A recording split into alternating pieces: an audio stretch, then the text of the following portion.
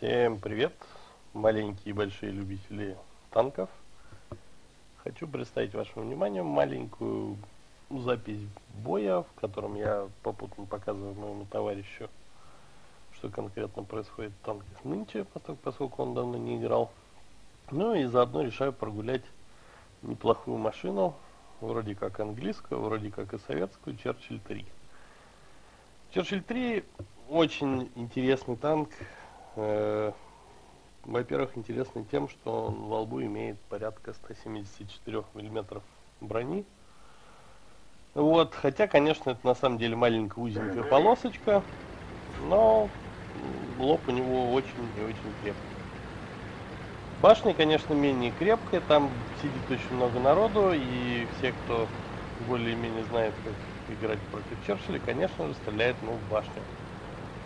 Но многие по привычке стараются дубасить корпус и, собственно, не пробивают его. Достаточно толстая броня бортов э, позволяет спокойно выкатываться и э, отражать урон при помощи ромбика.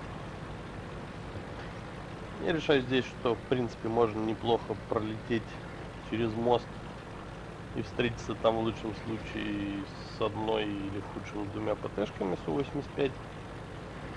Думаю, что если к тому же меня поддержит Б1, это будет вполне себе неплохая идея. Ну, может мой товарищ что-то стреляет, хотя, конечно, вряд ли. И на всех черчиллевских парах аж 20 чем-то километров, ну, думаю, не сильно больше 30 мы летим вперед, видим Су-85, видим, что на фугасах. С одной стороны это хорошо, с другой стороны не очень. И мы спокойно расходуем свой боезапас, знаешь, что нам его в любом случае хватит до конца боя. Едем вперед. К счастью, никто не успевает занять позицию в ущелье или внизу, и мы спокойным образом переезжаем мост. Самое опасное. Я знаю, что там за камушком стоит Су-85 с фугаской. Вижу М4, сразу его поджигаю. Отстреливаю. Вот, если меня бромбик не пробивает, пытаюсь вот догнать и догоняю. Су-85. Отстреливается по мне фугасом. Я его забираю. И вижу, что там как минимум аж целых три танка. И выкатываться на них достаточно, ну, в принципе, опасно. Товарищ моего забирает М4 с фугаской.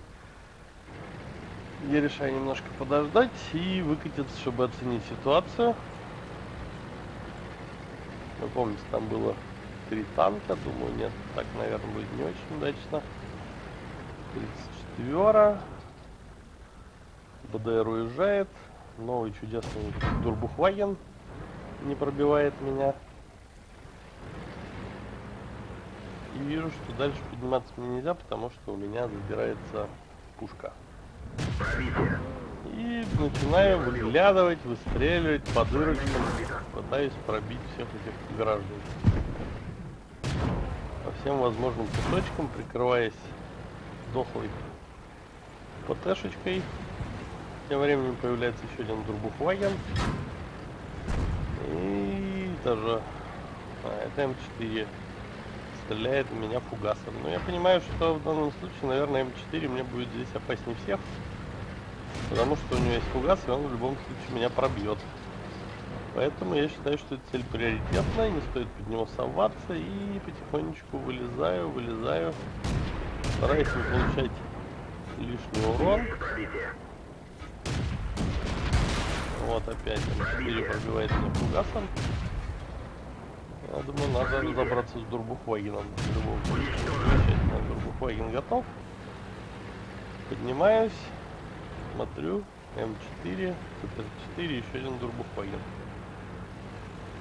Ну, если завалить М4, то все остальное, в принципе, как я понял, ребята не особо знают, куда Черчиллю стрелять, поэтому не очень страшно.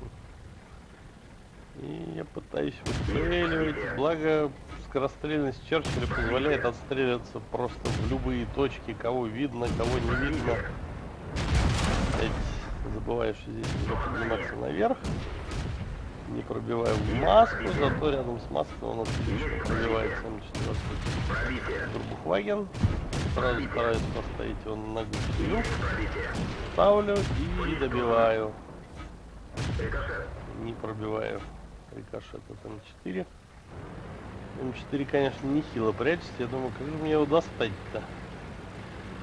Зараза, один выстрел остался. Вот эта четверка, конечно. Ну и думаю, что, наверное, пора все-таки ехать. Попутно пукаю четверы.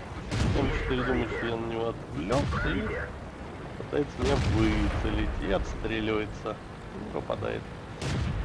Чем я пользуюсь спокойно его забираю. А затем следующим выстрелом забираю 34. Так у нас уже 5 фрагов. У них остается арта, БДР, ГДР и Черчилль. Все неплохо. Я вижу Берджган и понимаю, что надо чуть назад отъехать. Он вообще смотрит в какую-то совершенно другую сторону.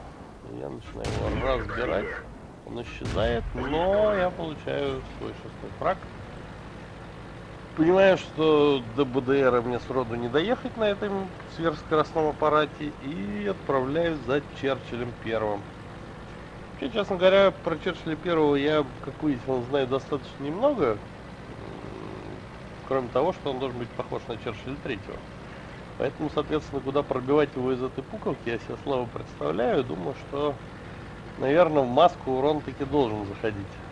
Потому что, вот как вы видите, там одни дырки у меня на маске, очень много народу туда стреляет. Сходу стреляю, поджигаю его. Пытаюсь попасть ему в маску.